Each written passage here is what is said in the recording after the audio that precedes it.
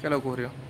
Bueno, no, tenían un cuñado mío trabajando aquí y a eso de las 2.45 de la madrugada, unos desaprensivos entraron y sustrajeron todo, más del 80% de la mercancía, con todos los inmuebles, plasma nueva, cocina, equipo de música y más del 80% de la mercancía. Todas la llevaron en dos vehículos.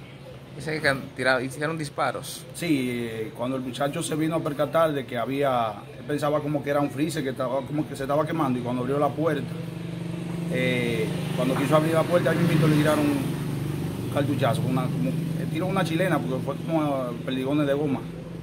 ¿Cuándo asciende más o menos? Bueno, eso asciende a unos 500 y casi 600 mil pesos, valorado en más o menos lo que me llevaron. Patrullaje policial en la zona. Patrullaje, casualmente en esos días se implementó lo que es eh, la de eso del 911 y a los dos días de implementar eso aquí, efectuaron el robo, porque eso fue el viernes de la semana pasada, no de esta que pasó ni no la antepasada. ¿El llamado que le hacen las autoridades?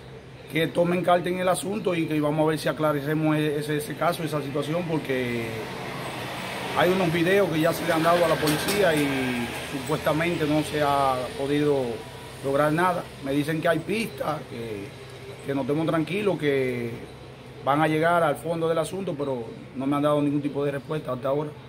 ¿Cómo le llaman esto por acá? Se no vi. ¿El nombre suyo es? Modesto Antonio Sánchez. Muchas gracias. mamá.